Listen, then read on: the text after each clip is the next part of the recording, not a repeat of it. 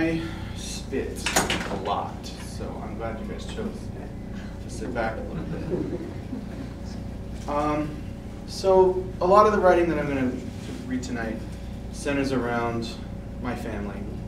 Um, I grew up in a two-religion household. There was my mom, who was LDS, who um, I think I'm going to guess, I'm going to take for granted that there's a little bit of LDS knowledge in this room.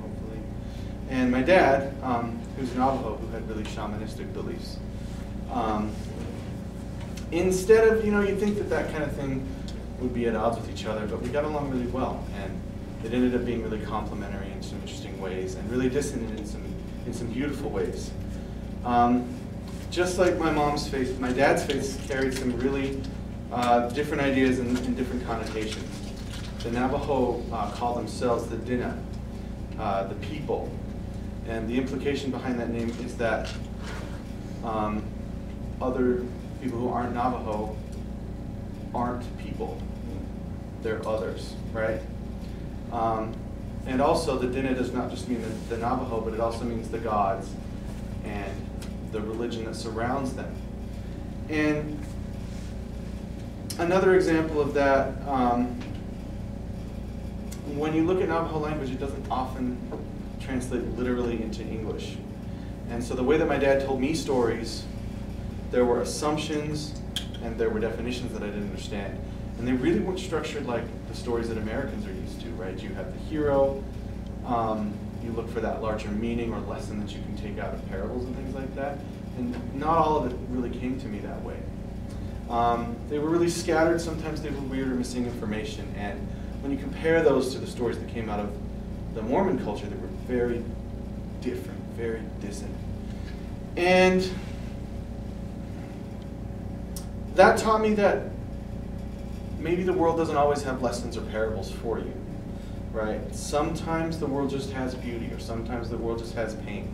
Sometimes it's not easy to find the meaning, or sometimes the meaning is just your own. Um, and I think that's why poetry speaks to me the way it does. So I'm going to share some of my poetry that attempt to capture an ethereal thing, right? Um, after the fashion that my dad taught me. Um, and to start this, I want to um, start and end with two stories that he told me. Much of his culture passed, passed things on orally, so I'm going to uh, relate a few fables from that um, that he told me a lot of times, and that I just the thing about them is they'd always change a little bit because he was doing them from memory, and it wasn't about the details so much as the story itself. So the first story that I'd like to read is called The Fourth Body. It's a creation story. My father told me this story many times, as far back as I can remember. Each time it changed a little, but I found the change to be a good thing because good stories bend and take root in their listeners, and change can solidify that. To the Navajo, the first of us rose up through three separate existences before finding this one. They left the other worlds behind through necessity. They'd been driven from each house because of infighting and adultery. They lived alone in each, in the dark, until they crawled into this world. Here they found other tribes and other people who lived as they did. When they arrived, the surface of this world was simply black and white under a blue sky. There was no sun, no moon or stars. Only four great snow-covered peaks lined the horizon in each of the cardinal directions. On cold nights, a booming voice echoed from each mountain. Late in the autumn, the voice grew nearer and revealed itself as a chorus. Four forms then came from the horizon. A body of white in the shape of a man, a body of blue, a watery form, a yellow body with a woman's figure, and a fourth body, the black body. The forms used no voice. At first, they tried to communicate with hands and gestures and were not understood. For four days they came, and the people gained nothing. Finally, one of the gods remained and spoke to them, Black Body, the god of fire. He said that he wanted them to make people that were more like the gods. The people had bodies like the gods, but their teeth, their feet, and their claws were those of beasts. He told them to bathe themselves and prepare for his return. Black Body returned after many months, and he brought the other, and he had brought the others. Blue Body, the god of rain, stepped forward, a crescent moon glowing on his forehead and stars glistening on his skin. He placed a buckskin on the ground and waited. White Body, west wind and god of all the world, came with two ears of corn, a yellow ear and a white ear. He placed the corn on the ground between the buckskins and put the feathers of eagles with them. Then they told the people to stand back, because the wind must enter. White body, the first man, and yellow body, the east wind and first woman, entered from either side. While the wind was blowing, other bodies came and circled the objects. When the dance was complete, the buckskin was removed. There were no ears of corn. There was fire, and man and woman had come into being. They married into the people, and the Navajo were born. It is said that the white ear of corn had become the man, and the yellow ear was transformed into the woman. The wind gave them life and still blows in and out of us now and gives us life. When this wind stills, so does our life. The black god then gave the din of fire and the dawn and left them to the wilderness. Growing up with my dad, um, he was a farmer. Came out of the off the reservation to work in railroads, and he rode bulls and broncs and rodeos. And he retired in Idaho. Um, and so we had a small farm, kind of a hobby farm, um, and he just had a few head of cattle, 20, 30. And we would spend our days tending them and, and working on the farm. Um, and I wanted to write about that. I've been exploring that in my poetry. And um, I tried to write a poem about one of my favorite cattle dogs that we had. Um, it's very hard to write about animals, but we'll see how I did. This is called Spud. Dad named the dog after another dog from a beer commercial. Names weren't permanent for my dad, they changed as the christened changed. When the dog herded cattle in the valley, Dad showed him how to move like a Navajo, in a slow circle to keep the cattle together, in a quick dart, dart to drive them. The dog understood, but he was kicked once in the side by a young bull and rolled in the tall grass. Dad changed his name to Ten after Ten Foot Pole, because he wouldn't herd the cows after that. One time the cows broke through barbed wire into bloody freedom on the highway. Dad used his old Chevy to push them back.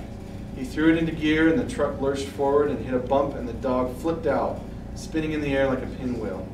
Dad didn't bother stopping. He just yelled at the dog and drove out to the river. The dog was cartwheel for that day. For lunch, Dad would take blue corn flour and roll it into soft slabs of dough. The Navajo called it bishi. He fed it to the dog, too. Then the dog was noodle nose. Once the dog leaped out of the truck and landed right on top of another dog chasing him. Then he was a fighter. Dad sewed him up and bought antibiotics, but for weeks he had a hobbled gait. His name became John Wayne. Once towards the evening, Dad busted his knee tripping on some wire. He got an infection, went to the hospital, and told me he was proud of who I had become. The dog sat on the faded back porch looking through the dirty glass door at old rubber ditch boots and fencing tools. He didn't get a name that day, but if I'd thought about it, I'd have given him mine, because we felt the same. A lot of time in Idaho I spent working, and for several summers I had a job on a farm, and my job was to really to kill things. I sprayed weed poison, I cut trees, and I maintained game birds, and um, I took a lot of that area for granted when I was young, and that, that job really helped me to come into um, a better understanding of that place. And so I explored that a little bit. This poem is called Russian Olives after the tree. It's May, and the forest is taking over. Deep huddles of migrant trees, Russian olives, split concrete and snap barbed wire fences through fierce spurts of growth, determined to make room for new sylvan heavens. In July, we ride into the backfield laden with gear for cutting and killing among new woods, intent on shoving back the thick, slow Russian march. Under summer's swelling ridge of heat, our blade work slows, bogged down in a morass of flies and swelter. Old stumps hidden in pastel grasses kick back at booted toes, leaving blood under the rubber. In August, we pile the branches, great declensions of once proudly heaped bark and trunk, leave us with little to show for our scratches and welts. How could we not have walked slowly to the November pyre, torpid from cold and lugging cans of gas? A breath of flame quickens into 40 feet of vertical ignescence, bright enough for God to speak through. Thermic gravity that slows cars on the distant highway, pulled by the heat of a dying sylvan star. My family grew up in that area, and had really strong connections to um, the land there. And one person who had a really big influence on me when I was young was my grandma. Um, this poem is called Miss Afton. Grandmother's hands shelled thick peas with a slick, wet sound. She had fingernails like old fossils, and she told tales. We sat in dry, clumped prairie dirt, hooded in heat and flies among dusty green sinews of squash and pea plants, and imagined her a girl of the Bear River Valley. The bugs there hummed with purpose. Thick tides of mosquitoes off the river every night watched a tenor over the bass of the distant black bees. Cloud, cows spread across arid grass like slow splayed fingers. Olive trees reflected sun off silver gray slivers, with leaves that twinkled sleepy green. Grandma spoke of the ranch and how she, with her bare feet and gray dress, grabbed a garden hose one day and that smooth son of a bitch was a blow snake, and you never seen anybody run so fast up a bed of greasewood and into a trailer. Us hill folk pay attention to things, she said as she squished fresh tomato pickings accidentally under her heel. To an outsider, she didn't seem like much. But the people around her knew if she said there was rain, you believed her. And if she pointed out a weakened, weak calf in a herd, he'd be dead with the first cold snap.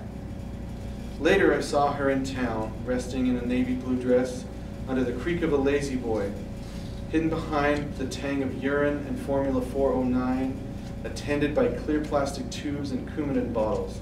The Price is Right humming on a wood panel TV, jammed in the top corner of a light-filled nursing home bedroom. When Grandpa died and they took her here, she just shook her head and said she could use the quiet. She spent all day listening to the old green heater drone on and the echoes of movement in the hall.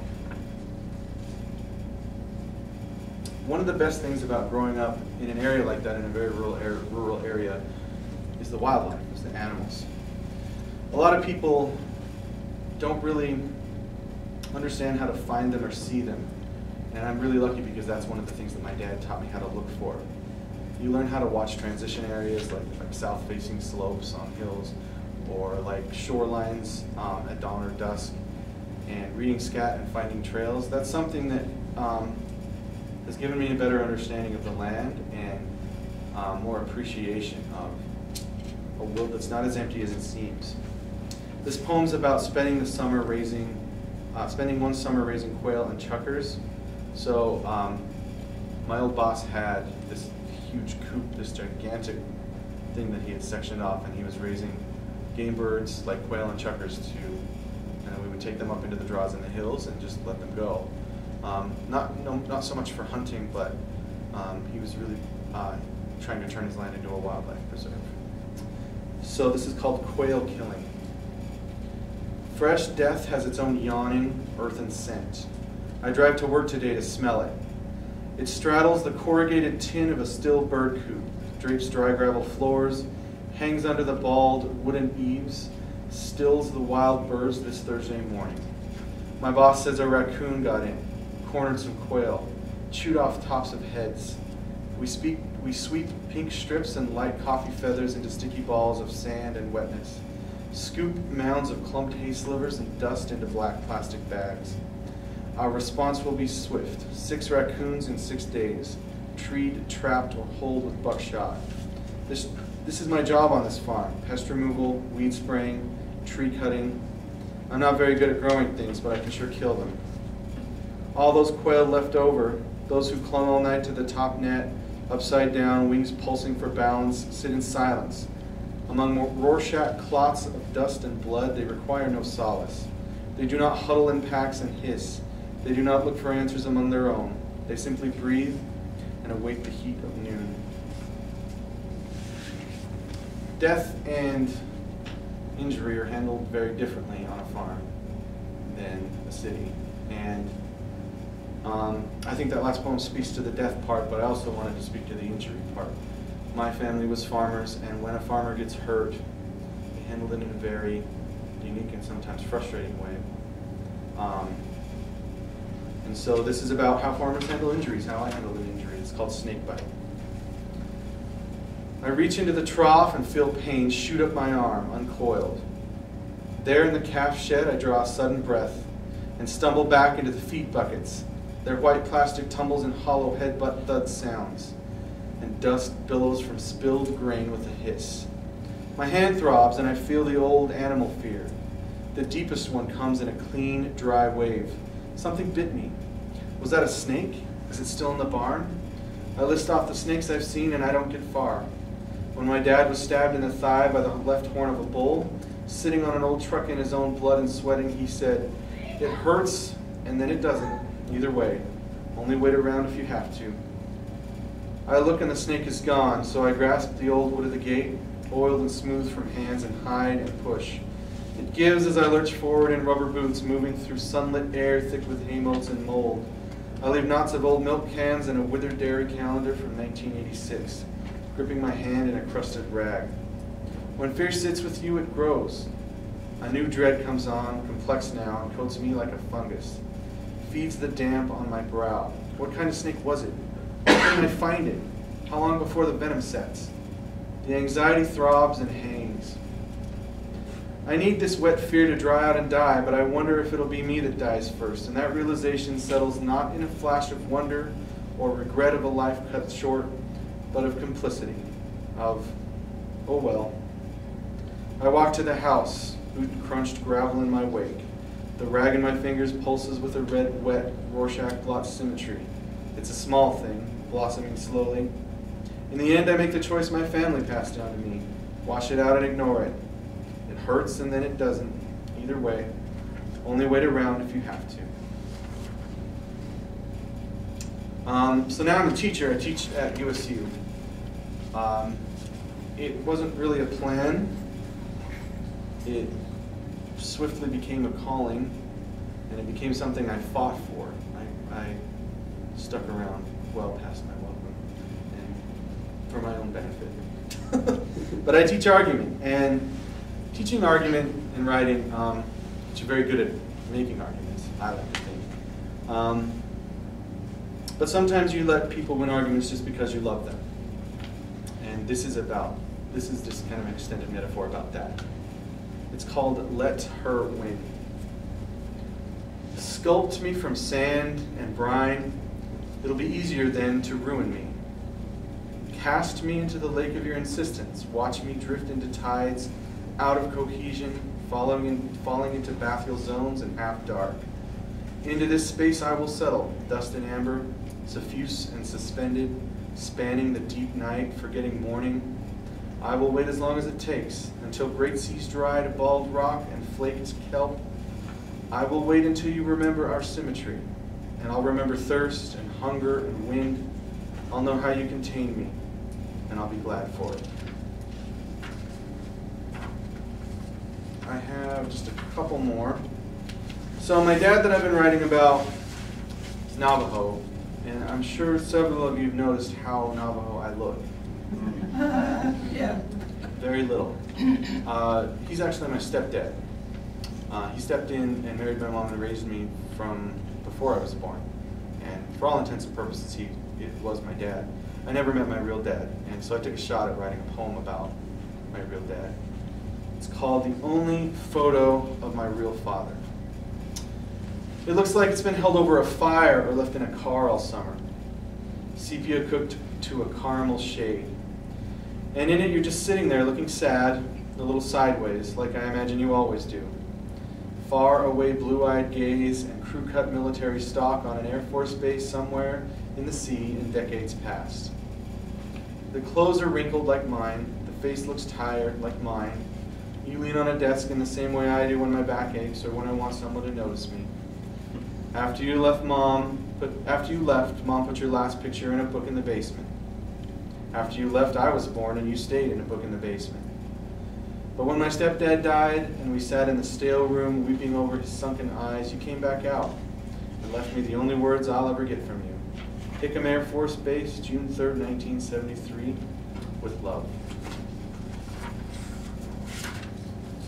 Um, so my mom raised me, and my dad raised me, and the TV also raised me. Right? And one of the things I liked on the TV was a little show called Star Trek. So I went there and I tried um, to do that. I think that old sci-fi is so misogynistic and cowboy that it just fits right in with my upbringing.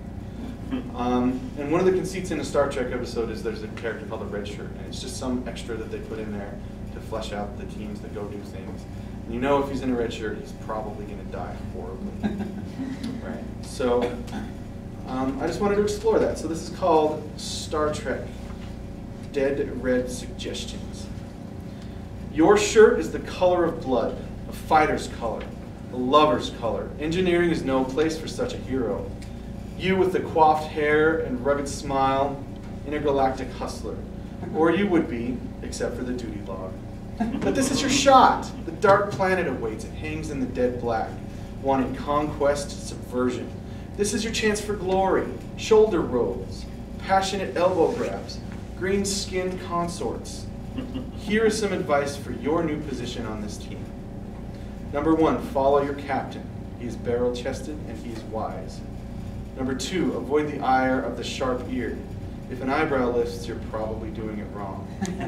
Number three, the man in the blue is a doctor, not a scientist, not a geologist, and not a belly dancer. Number four, in a firefight, keep your head down. Keep your head down. Number five, do not wrestle the amorphous or the caustic or the insane. And when you rematerialize on deck, back from your quest, yellow blood on your emblem, the light from three suns preserved in your glowing tan, they will know. Everyone with tall black boots, short skirts, and blonde beehives will know. Everyone with shiny space lovers, chicken wing shoulders, and stringy beetle haircuts will know. They will look at you and say, Now there's a real man. Now there's a man. We'll see you soon. I'd like to close with another fable my dad told me, another myth. He's from Arizona, and uh, there was a really big historical event in, in Idaho where I grew up called the Bear River Massacre, where a bunch of Shoshone were uh, killed by cavalry. And it really left an imprint on the people who lived there. And in a weird way, it sort of became a source of pride. This big thing happened here, and we're a part of it. Even though it's horrible, we don't think about that. We think about this big thing happened here. So because he's Native American, because he's Indian, he's the Indian. Doesn't matter if he's Navajo, if he's not from the area. For all intents and purposes, he's Shoshone, right? So he spends his years there and he starts to adopt the culture some. He goes to the powwows at the Pocatello, and he makes a lot of Shoshone friends. He really becomes a part of another tribe in a way. And he starts to pick up and relate myths from Shoshone. So this is a Shoshone myth that my dad told me. It parallels in an interesting way with uh, the first one that I related. It's called Theft of, I'm calling it Theft of Fire. A long time ago, animals and people were the same, and they had no fire in any part of this country. Lizard was lying in the sunshine. He saw an ash, blown by the south wind from a long way off, fall to the ground near him. All the people came over to look at it and wondered where it had come from. They sent Hummingbird up into the sky to find out. They watched Hummingbird fly. Coyote came along and said, I can see him. He's high in the sky. They saw that Hummingbird looked all over to see from where the ash had blown. Coyote watched him as he came down and told the people that there was a fire in the south. Nobody had seen a fire, so they all started toward the south. On the way, Coyote stationed the different animals at different intervals, left them along the trail. They went on, they went on until they could see the fire. The people there were having a big celebration and a big dance. Coyote made himself a hair of milkweed string, joined the people, and danced with them. As he danced and sang, he moved too close to the fire and leaned his head over that his hair caught on fire. As soon as it was lit, he ran away.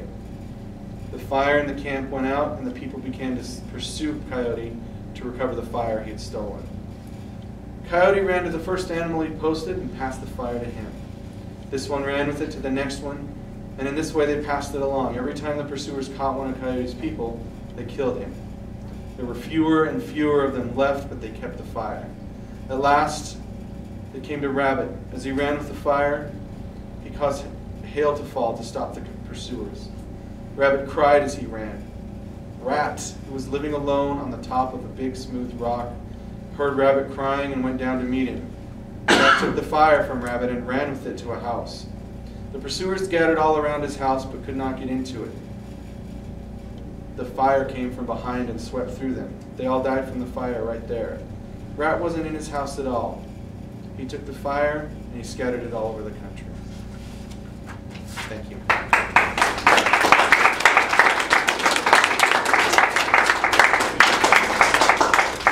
Thank you so much, Russ, and thank you, Case. Let's just give him one more round of applause.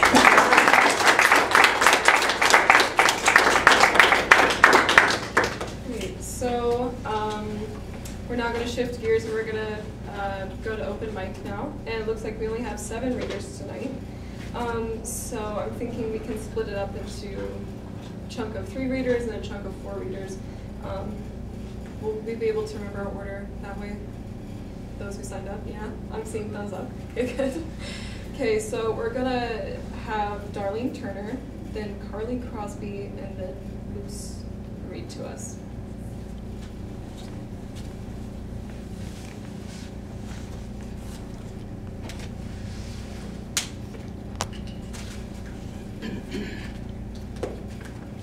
Hi, I'm Darlene Turner. I'm from the Palm Springs area of California, and I came up here on the senior uh, program to spend the summer in Logan, and I love it here, so I know I'm coming back. But I've been having too much fun here, taking classes and doing uh, hiking and biking and meeting people and seeing all the the operas and the musicals, and it's just.